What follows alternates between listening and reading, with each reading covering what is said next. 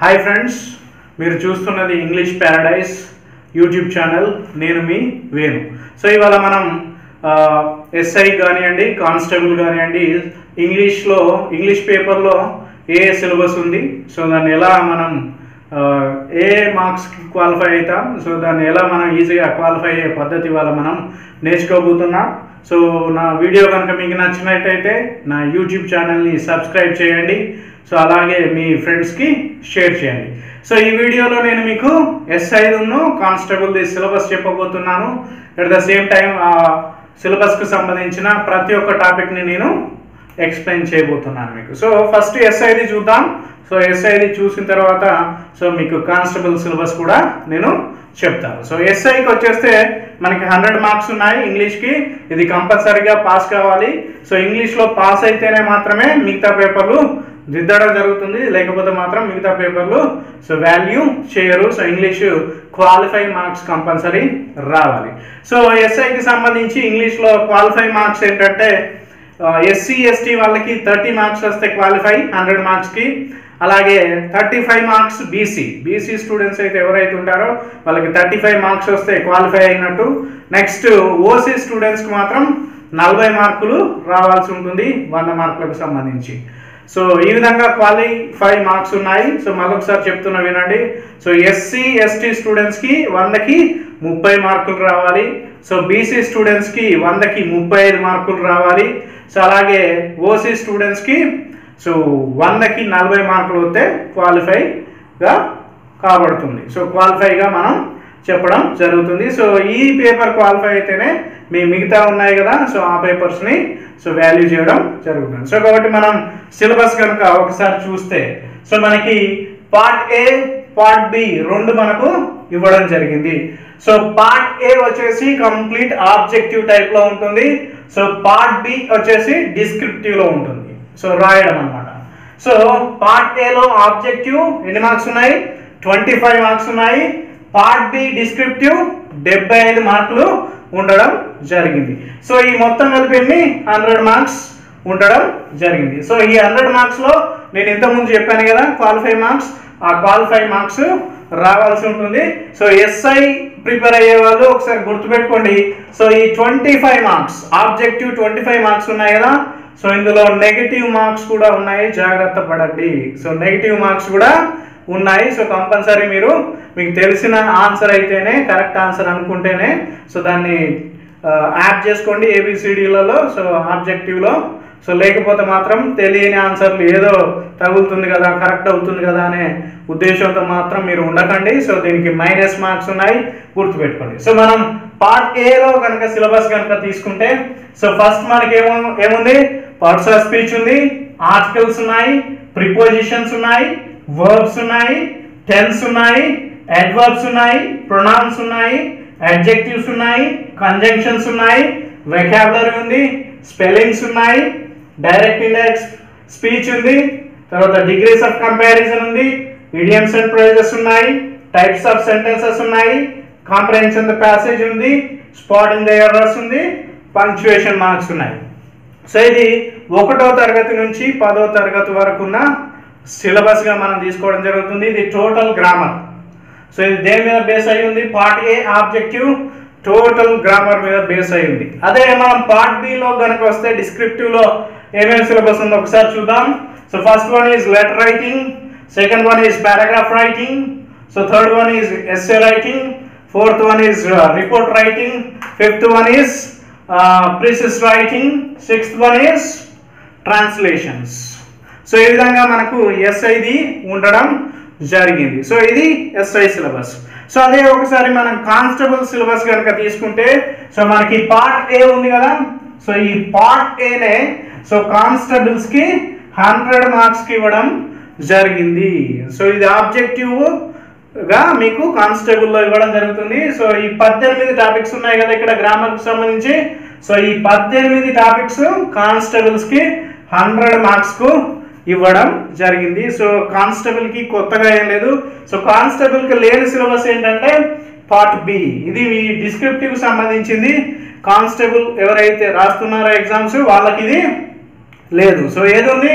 So part ఏనే ఉంది. So గుర్తుపెట్టుకోండి. అవేంటి పార్ట్స్ ఆఫ్ స్పీచ్ కానివ్వండి ఆర్టికల్స్ కానివ్వండి ప్రిపోజిషన్స్ కానివ్వండి వర్బ్స్ కానివ్వండి టెన్స్ కానివ్వండి adverbs pronouns adjectives conjunctions vocabulary spellings direct and indirect speech degrees of comparison idioms and phrases types of sentences comprehension passage spotting errors తర్వాత punctuation marks ఇది కానిస్టేబుల్స్కున్న syllabus so ఓవరాల్గా so మనకున్నది SI and constable syllabus మీకు చెప్పడం జరిగింది. So ఇంకొకటి మీరు ఈ పార్ట్ ఏలో కనుక మనం అబ్జర్వ్ చేస్తే పార్ట్ ఏలో కనుక అబ్జర్వ్ చేస్తే పార్ట్స్ ఆఫ్ స్పీచ్ ఉంది. సో పార్ట్స్ ఆఫ్ స్పీచ్లో మనకి ఏముంటాయి ప్రిపోజిషన్స్ ఉంటాయి వర్బ్స్ ఉన్నాయి అడ్వర్బ్స్ ఉన్నాయి ప్రొనౌన్స్ ఉన్నాయి అడ్జెక్టివ్స్ ఉన్నాయి కంజంక్షన్స్ కూడా ఉండడం జరిగింది. కానీ మరి దీన్ని సపరేట్గా మనకి ఎందుకు ఇచ్చారు? సో పార్ట్స్ ఆఫ్ స్పీచ్ అంటే అయిపోతుంది కదా కానీ మరి మనకి సపరేట్గా ఎందుకు ఇచ్చారు? అంటే వీటిని కొంచెం డెప్త్గా చదవాల్సి ఉంటుంది. ఫర్ ఎగ్జాంపుల్ ప్రిపోజిషన్స్ తీసుకున్నాం అనుకోండి సో ఏ వర్డ్ వచ్చినప్పుడు ఏ ప్రిపోజిషన్ వాడాలి. సో ఏ వర్డ్ వచ్చినప్పుడు ఏ ప్రిపోషన్ ఫర్ ఎగ్జాంపుల్ మనకి ఫీవర్ వస్తుంది కదా సో సో ఫీవర్ వచ్చినప్పుడు ఏది యూజ్ చేస్తాం? సఫరింగ్ అనే ప్రిపోజిషన్ని యూజ్ చేస్తాం. ఏంటిది? సఫరింగ్ అనేది దాన్ని సో సారీ సఫరింగ్ కాదు suffering from fever so from అనే ప్రిపోజిషన్ని మనం యూజ్ చేయడం జరుగుతుంది. సో ఈ విధంగా మనం డెప్త్లోకి వెళ్ళాల్సి ఉంటుంది. అదే విధంగా ఆన్ కానీ ఎట్ కానీ తీసుకున్నాం అనుకో ప్రిపోజిషన్స్ ఇవి రెండు. సో ఆన్ కానీ ఎట్ కానీ దేనికి పనిచేస్తాయి? ప్లేస్ ఆఫ్ టైం ప్లేస్ తెలియజేస్తుంది ప్రిపోజిషన్ ఎట్ అనేది తెలియజేస్తుంది ఆన్ అనేది తెలియజేస్తుంది. సో తర్వాత దేన్ని ఇండికేట్ చేస్తుంది ఈ రెండు మళ్ళీ? టైంని కూడా ఇండికేట్ చేయడం జరుగుతుంది. సో నేను ఈ కంప్లీట్ ది పార్ట్స్ ఆఫ్ స్పీచ్కి సంబంధించిన ఫుల్ డీటెయిల్స్ నెక్స్ట్ వీడియోలో చేయబోతున్నాను. సో కాబట్టి ఫ్రెండ్స్ నా యూట్యూబ్ ఛానల్ని సబ్స్క్రైబ్ చేసుకోండి. మీకు ఇలాంటి చాలా రకాల బెనిఫిట్స్ మీకు వస్తాయి. మీరు కోచింగ్ సెంటర్స్కి వెళ్ళకుండానే సో మీరు ఇంట్లో కూర్చొని మీ మొబైల్ కనుక ఉంటే మీరు హ్యాపీగా ఇంట్లో కూర్చొని సో నా యూట్యూబ్ ఛానల్ వీడియోస్ కనుక చూస్తే సో మీకు కొత్తగా పెద్దగా కోచింగ్ వెళ్ళాల్సిన అవసరం లేదు. నేను డెప్త్గా మీకు వీడియోస్ చేస్తాను. సో కాబట్టి ఈ విధంగా ప్రతిదాన్ని సో మనం ఇన్ డీటెయిల్గా తీసుకోవాలి. పార్ట్స్ ఆఫ్ స్పీచ్లో సంబంధించి. సో ఇంకొకటి వచ్చేస్తే కొన్ని స్టూడెంట్సే చదువుకోవాల్సి ఉంటుంది. సో ఏ ఇన్స్టిట్యూట్లో చెప్పరో ఏంటి అంటే for example comprehension the passage so ఇదే ప్యాసేజ్ వస్తుందని మనము ఎక్స్పెక్ట్ చేయలేము చెప్పలేము. ఇదే దీని లిమిటెడ్ సిలబస్ అది కాదండి. సో కొన్ని పేదో ఇరవై పారాగ్రాఫ్లు ఇచ్చి ఇదే పారాగ్రాఫ్ని మీరు ప్రాక్టీస్ చేయండి. ఇవే వస్తాయని చెప్పడానికి వీలు లేదు. ఇంకొకటి వచ్చేసి సో వకాబులరీ సో వకాబులరీ ఉంది కదా. సో వకాబులరీ కూడా సో ఈ వకాబులరీ ఏం లేదండి? సింపుల్గా సో సినానిమ్స్ ఉంటాయి యాంటోనిమ్స్ ఉంటాయి ఇందులో. So vocabulary is nothing but synonyms antonyms so మీ దగ్గర ఉన్న నోట్స్ మొత్తం చదవండి. సో అందులో నుంచి రావాలని ఏం లేదు. సో మీరు ఈ- ఈ మరి ఎలా మీరు ఈజీగా నేర్చుకోగలుగుతారంటే మీరు ఎక్కువగా పేపర్ చదవడం కానీ సో బుక్స్ చదవడం కానీ సో వాటి మీనింగ్స్ రాసుకోవడం కానీ సినానిమ్స్ అంటే సో సేమ్ అర్థాన్ని ఇచ్చే పదాలు. పర్యాయ పదాలు అంటారు. యాంటనిమ్స్ అంటే వ్యతిరేక పదాలు అనమాట సో ఇవన్నీ మీరు బుక్లలో చదువుకోవాలి. సో చాలా వేరియస్ కాంపిటేటివ్ ఎగ్జామ్స్ సంబంధించిన బుక్స్లో ఇవన్నీ ఉంటాయి. సినానిమ్స్ యాంటనిమ్స్ ఉంటాయి. అవన్నీ మీరు చదువుకోవాలి. At the same time spellings so spellings కూడా ఇవే వస్తుంది. ఇవే చదువుకోండి అని. సో ఏ కోచింగ్ సెంటర్లో చెప్పరు. సో వచ్చేవాళ్ళు. సో దానికి అవి ఏ నోట్స్ ఇవ్వలేరు. వాళ్ళు కొంతవరకు మాత్రమే నోట్స్ ఇవ్వగలుగుతారు కానీ అందులో నుంచి వస్తుందా రాలేదా అనేది మనము చెప్పలేము. అలాగనే ఇంకోటి ఏంటి? సో కాంప్రహెన్షన్ ద ప్యాసేజ్ నేను ఇంతకుముందే చెప్పినట్టు సో ప్యాసేజ్ ఏది వస్తుందో ఏది మనము చెప్పలేము. సో ఇంకొకటి సో స్పాటింగ్ ఎర్రర్స్ స్పాటింగ్ ఎర్రర్స్ని ఇంకోటి ఏమనొచ్చు అంటే so correction of the sentences అని కూడా అనవచ్చు సో ఇది spotting errors or correction of the sentence అంటే మీకు టోటల్ గ్రామర్ వచ్చి ఉండాలి. సో అప్పుడు మాత్రమే మీరు ఏం చేస్తారు? అప్పుడు మాత్రమే మీరు సో ఈ స్పాటింగ్ ఎర్రర్స్ని కానీ కరెక్షన్ ఆఫ్ ది సెంటెన్సెస్ని కానీ చేయగలుగుతారు. లేకపోతే మాత్రం చేయలేరు. గుర్తుపెట్టుకోండి. సో పంక్చువేషన్ మార్క్స్ కూడా ఉన్నాయి. సో మీకు కామా ఎప్పుడు యూజ్ చేయాలి? పుల్ స్టాప్ ఎప్పుడు యూజ్ చేయాలి? సెమికోలన్ హైపన్ సో ఇవన్నీ సో నేను పంక్చువేషన్ మార్క్స్ మీద ఒక వీడియో చేస్తాను. సో ఫ్యూచర్లో మీరు అది చూడొచ్చు. సో ప్రతి ఇక్కడ ఉన్న ప్రతి టాపిక్ మీద నేను వీడియో చేయబోతున్నాను. సో కాబట్టి friends stay tune to my YouTube channel so మళ్ళీ ఒకసారి ఫస్ట్ నుంచి కనుక వస్తే సో పార్ట్స్ ఆఫ్ స్పీచ్ మీకు తెలుసు ఎనిమిది పార్ట్స్ ఆఫ్ స్పీచ్ ఉంటాయి.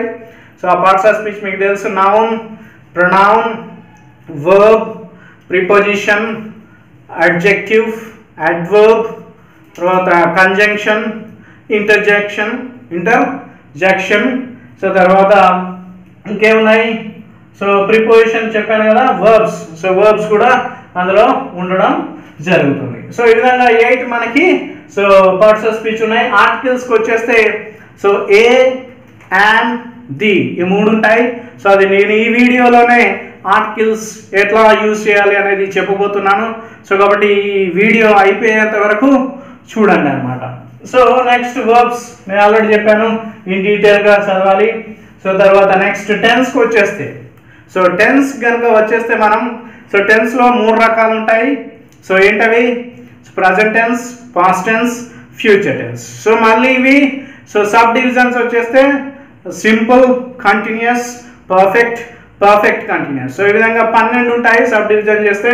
సో దీని మీద కూడా నేను వీడియో చేయబోతాను. ఇన్ ఫ్యూచర్లో చేయబోతున్నాను. సో అది కూడా చూడండి ఫ్రెండ్స్ సో అడ్వర్బ్స్ మనకి తెలుసు. సో వర్బ్స్ తీసుకుందాం. దెన్ ప్రిపోజిషన్ తీసుకుందాం. సో ప్రిపోజిషన్స్ ఏంటంటే సో కొన్ని వర్డ్స్ ఉంటాయి కొన్ని ప్రిపోజిషన్స్ ఉంటాయి. ఏ ఏ వర్డ్తోని ఏ ప్రిపోజిషన్ యూజ్ చేయాలి అనేది. సో నేను మీకు చెప్పబోతాను నెక్స్ట్ వీడియోలో ఓకేనా ఫ్రెండ్స్ సో నెక్స్ట్ వచ్చేసి వర్బ్స్ సో వర్బ్స్ అంటే nothing but work or action so verb అంటే తెలుగులో ఏమంటాం? క్రియ అంటాం. So it indicates the action so ఏదైతే పనిని తెలియజేస్తుందో దాన్నే వర్బ్ అనడం జరుగుతుంది. నెక్స్ట్ యాడ్వర్బ్స్ అడ్వర్బ్స్ గురించి తెలుసుకోవాలంటే ఫస్ట్ మనకి అడ్జెక్టివ్స్ గురించి తెలియాలి. సో అడ్జెక్టివ్ ఏం తెలియజేస్తుంది? అడ్జెక్టివ్ ఏం తెలియజేస్తుంది అంటే ఒక నౌన్ కానీ దట్ మీన్స్ ఒక పర్సన్ కానీ ఒక థింగ్ కానీ ఒక ప్లేస్ కానీ సో వాటి గుణాను లేదా స్వభావము ఏదైతే తెలియజేస్తుందో లక్షణాలు తెలియజేస్తుంది దాన్ని అడ్వర్బ్ అంటారు. ఒక వస్ వ్యక్తి యొక్క లక్షణము గుణము లేదా ఒక ప్రాంతం యొక్క గుణము స్వభావము లేదా ఒక థింగ్ వస్తువు యొక్క సేటి గుణము స్వభావం ప్రదేశము వ్యక్తి. సో ఈ మూడింటికి సంబంధించిన సో గుణము స్వభావము లక్షణాలు ఏదైతే తెలియజేస్తుందో దాన్ని మనం అడ్వర్బ్స్ అంటాం. సో అడ్వర్బ్స్లో మళ్ళీ రకాలు ఉంటాయి అలాగే నౌన్స్లో రకాలు ఉంటాయి ప్రొనౌన్స్లో రకాలు ఉంటాయి తర్వాత వర్బ్స్లో రకాలు ఉంటాయి అడ్జెక్టివ్స్లో రకాలు ఉంటాయి అడ్వర్బ్స్లో రకాలు ఉంటాయి కంజంక్షన్లో డిఫరెంట్ టైప్స్ ఆఫ్ ఉంటాయి. సో ఇంటర్జెక్షన్లో కూడా డిఫరెంట్ టైప్స్ ఉంటాయి. సో నేను అది పార్ట్స్ ఆఫ్ స్పీచ్ చెప్పినప్పుడు మళ్ళీ నీకు ఇన్ డీటెయిల్గా చెప్పడం జరుగుతుంది. సో నెక్స్ట్ వచ్చేసి అడ్వర్బ్స్కి వస్తే. సో ఒక వర్బ్ కానీ ఒక అడ్జ ఒక అడ్జెక్టివ్ కానీ ఇంకొక యాడ్వర్బ్ కానీ ఏదైతే ఎక్స్ట్రా మీనింగ్ ఇవ్వగలుగుతుందో దానికి ఇంకో కొంచెం మీనింగ్ ఏదైతే యాడ్ చేస్తుందో దాన్నే యాడ్వర్బ్ అంటారు. సో అది ఇన్ డీటెయిల్గా మీకు చెప్తాను. సో ప్రొనౌన్స్ సో ప్రొనౌన్స్ అంటే ఏం లేదండి.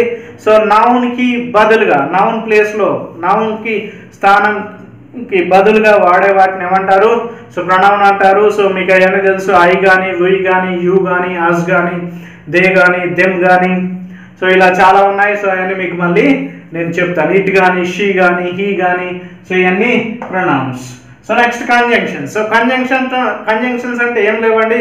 సో రెండు పదాలను కానీ రెండు వాక్యాలను కానీ ఏదైతే కలుపుతుందో దాన్ని కంజంక్షన్ అని అంటారు. ఫర్ ఎగ్జాంపుల్ అండ్ కానీ సో కానీ బట్ కానీ ఇవన్నీ ఉన్నాయి కదా? సో ఇవన్నీ కంజంక్షన్స్ సో నెక్స్ట్ వస్తే వాక్యాబులరీ గురించి చెప్పేశాను. స్పెల్లింగ్స్ స్పెల్లింగ్స్ అంటే ఏం లేదండి? సో కరెక్ట్ స్పెల్లింగ్ని మిమ్మల్ని ఫైండ్ అవుట్ చేయమంటారు.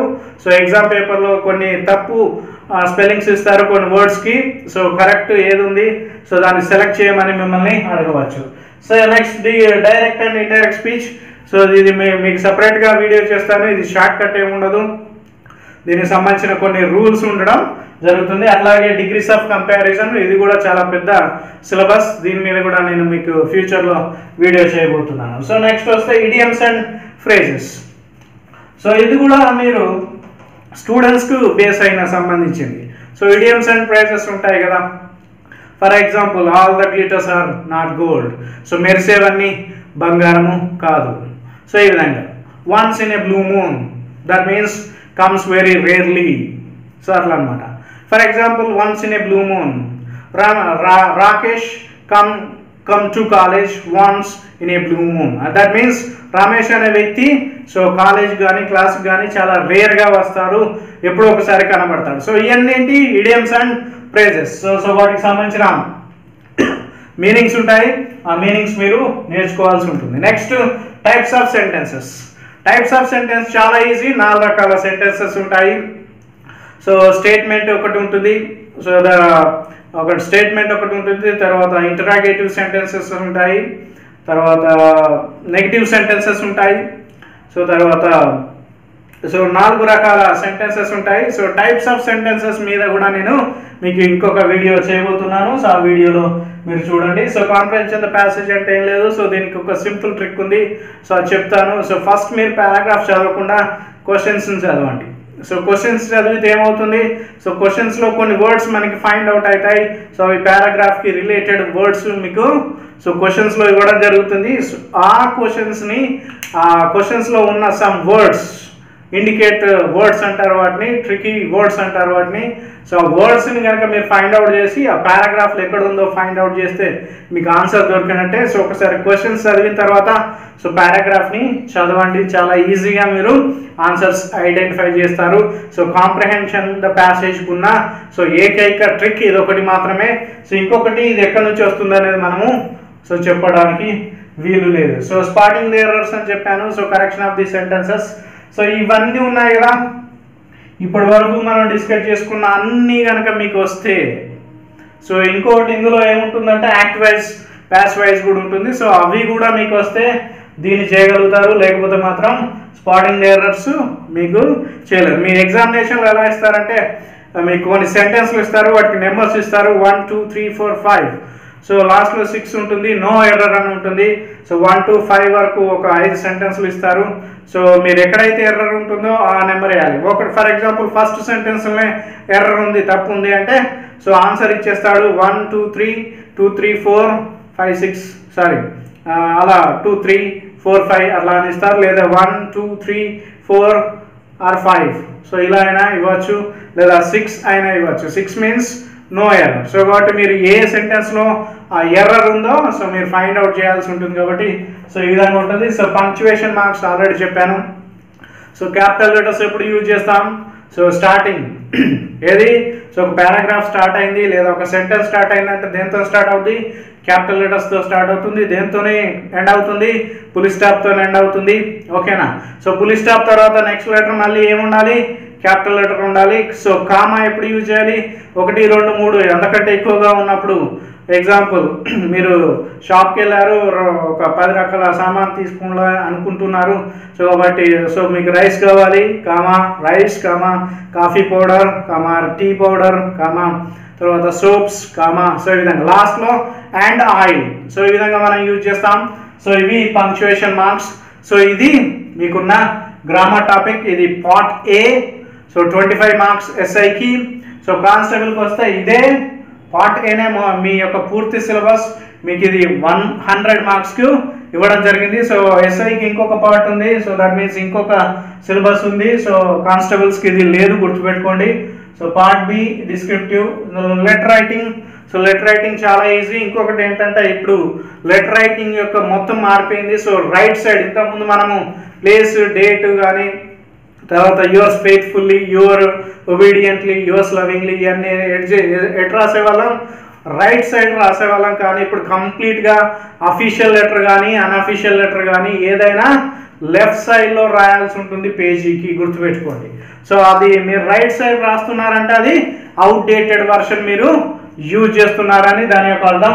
సో లెటర్ రైటింగ్లో ఏముంటుంది మీకు? రెండు రకాల లెటర్స్ ఉంటాయి. సో ఏంటంటే అవి? అఫీషియల్ లెటర్ అన్అఫీషియల్ లెటర్స్ అంటారు. So formal letters informal letters so అఫీ ఆఫీసర్లకు రాసే వాటిని official letters or formal letters అంటారు. సో బంధువులకు కానీ రిలేటివ్స్ అదే బంధువులకి కానీ తర్వాత పేరెంట్స్కి కానీ ఫ్రెండ్స్కి రాసే వాటిని అన్అఫీషియల్ లెటర్స్ అంటారు. వీటిని ఇన్ఫార్మల్ లెటర్స్ అంటారు. సో దీని మీద మీకు ఇదేది ఎలా రాయాలనేది సో నేను మళ్ళొక వీడియోలో చేయబోతున్నాను. Next paragraph writing so paragraph రైటింగ్లో ఏమి ఇస్తారంటే ఒక సిచ్యువేషన్ ఇవ్వచ్చు. సో ఒక సిచ్యువేషన్ ఇచ్చి దాని మీద పారాగ్రాఫ్ రాయండి. ఫర్ ఎగ్జాంపుల్ మీరు బతుకమ్మ ఫెస్టివల్ జరుపుకుంటున్నారు తెలంగాణలో. సో బతుకమ్మ ఫెస్టివల్ ఎలా జరుపుకుంటారు అనేది ఒక పారాగ్రాఫ్లో రాయమని అడగవచ్చు. సో అది మీరు పారాగ్రాఫ్ రూపంలో రాయాల్సి ఉంటుంది. ఫర్ ఎగ్జాంపుల్ ఇంకొకటి ఎస్ఏ రైటింగ్ మనకున్న ఇంకొక టాపిక్ ఏంటి? ఎస్ఏ రైటింగ్ ఇది ఓన్లీ ఎస్ఐలకు మాత్రమే గుర్తుపెట్టుకోండి. కానిస్టేబుల్స్కి ఈ పార్ట్ లేదు. పార్ట్ బి లేదు మీకు ఇది అవసరం లేదు సో మీకు ఇది వరకే. సో నేను ఈ వీడియోలో రెండు కలిపి చెప్తున్నాను SI and constable. So essay రైటింగ్లో ఎలా ఇవ్వచ్చు? సో ఒక టాపిక్ ఇస్తాడు. ఫర్ ఎగ్జాంపుల్ ఎడ్యుకేషన్ కానివ్వండి పాలిటిక్స్ కానివ్వండి సో ఇంకా సమస్యలు ఏమైనా సో సొసైటీలో ఇంకేమైనా సమస్యలు ఉంటే వాటికి సంబంధించినవి ఇవి ఇవ్వడం జరిగింది. ఫర్ ఎగ్జాంపుల్ ఓటర్స్ గురించి ఓటర్స్ని ఎలా పెంచాలి? సో ఓటర్స్ ప్రజాస్వామ్యంలో ఓటర్ల యొక్క ప్రాముఖ్యత ఏంటి? ఇలాంటి టాపిక్స్ అన్ని ఎస్ఏ రైటింగ్లో ఇవ్వడం జరుగుతుంది. సో ఏది ఇస్తారా అనేది కూడా డౌట్ఫుల్గా ఉంటుంది. సో ఇది మీరు ఓన్గా చదువుకోవాల్సి ఉంటుంది ఇవన్నీ. సో నెక్స్ట్ రిపోర్ట్ రైటింగ్ ఏదైనా సంఘటన జరిగింది సంఘటన గురించి రాయండి తెలియజేయండి. ఫర్ ఎగ్జాంపుల్ మీరు వెళ్తున్నప్పుడు ఒక యాక్సిడెంట్ అయింది అనుకోండి సో యాక్సిడెంట్ ఎలా జరిగింది ఏమైంది తర్వాత పరిస్థితి ఏంటి? సో ఇవన్నీ ఒక పారాగ్రాఫ్ రెండు మూడు పారాగ్రాఫ్లు రాస్తే that's called report writing so precis writing is nothing but so ఒక పారాగ్రాఫ్ని ఎలా రాయాలి? సో ప్రీసిస్ అంటే ఎలా బిగినింగ్ చేయాలి మధ్యలో ఏం రావాలి. సో దాని ప్లాట్ ఎలా రాయాలి? సో దాన్ని ఎలా హైలైట్ చేయాలి? మనం ఏదైతే చెప్పదలుచుకున్నామో దాన్ని ఎలా హైలైట్ చేయాలి? సో ఎలా క్లోజ్ చేయాలి? That's called a precis writing so precis writing అంటే చాలామంది కన్ఫ్యూజ్ అవుతారు. So don't confuse so precis precis writing is nothing but ఒక పారాగ్రాఫ్ని కానీ ఒక ఎస్ఏని కానీ ఏ విధంగా బిగిన్ చేయాలి? సో మనం ఏదైతే ఇన్ఫర్మేషన్ సో చదివే వాళ్ళకి రీడర్స్కి ఇవ్వాలని అనుకుంటున్నామో అది క్లియర్గా మెన్షన్ చేయాలి బిగిన్ తర్వాత. సో దానికి సంబంధించిన ఫుల్ డీటెయిల్స్ ఇవ్వాలి. సో ఎండింగ్లో కంక్లూజన్ ఇవ్వాలి. సో కంక్లూజన్తో క్లోజ్ చేయాల్సి ఉంటుంది. బెటర్ ఎండింగ్ కూడా ఇవ్వాల్సి ఉంటుంది. That's called a precis writing so next translation so ట్రాన్స్లేషన్కి వస్తే సో ఎస్ఏ రైటింగ్లో ఎస్ఏ ఎగ్జామ్లు ఎస్ఏ ఎగ్జామ్లో ఏం అడుగుతారంటే సో మీకు ఇంగ్లీష్ యొక్క పారాగ్రాఫ్ ఇచ్చి దాన్ని తెలుగులోకి ట్రాన్స్లేట్ చేయమనొచ్చు లేదా తెలుగులో ఒక పారాగ్రాఫ్ ఇచ్చి దాన్ని ఇంగ్లీష్లోకి ట్రాన్స్లేట్ చేయమనాలి చేయమంటారు. సో అది చేయాలంటే మీకు ఏది రావాలి? ఇక్కడ ఉంది కదా టెన్స్ టెన్స్ కంపల్సరీ వచ్చి ఉండాలి. సో మినిమం బేసిక్స్ ఇంగ్లీష్లో వచ్చి ఉంటేనే తప్ప మీరు ట్రాన్స్లేషన్ చేయలేరు. సో ఎందుకంటే సో ఇవన్నీ రావాలి మీకు. ఇవన్నీ వస్తేనే మీరు ట్రాన్స్లేషన్ చేయాల్సి ఉంటుంది. సో ఇది మీకున్న సిలబస్ ఓకేనా ఫ్రెండ్స్ సో దీనికి సంబంధించి సో మీకు ఇంకో నెక్స్ట్ వీడియోలో నేను ఆర్టికల్స్ ఉన్నాయి కదా. సో ఈ ఆర్టికల్స్ మీద వీడియో చేయబోతున్నాను. సో మీకు గనక ఈ వీడియో కనుక నచ్చితే నా యూట్యూబ్ ఛానల్ని సబ్స్క్రైబ్ చేయండి. సో మీ ఫ్రెండ్స్కి షేర్ చేయండి. Thank you friends